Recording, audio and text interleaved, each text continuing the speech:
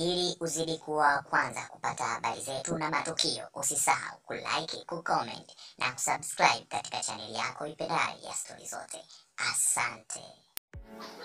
Video Vnex anayekwenda kwa jina la Ambaluti, yeye pamoja na mpenzi wake siku ya leo wamefikishwa kwenye mahakama ya hakimu mkazi Kisutu na kusomewa mashtaka mawili, ikiwa la kwanza ni kukubali kuingiliwa kinyume na maumbile ana la pili kusababisha kusambaa kwa picha na video za ngono zinazowahusu.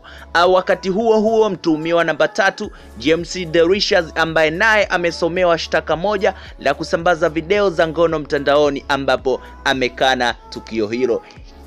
Huu ulikuwa ni mwendelezo wa tukio ambalo linalomkabili Ambaluti kuhusiana na video zake za ngono zilizoenea mitandaoni uh, kwenye siku hizi za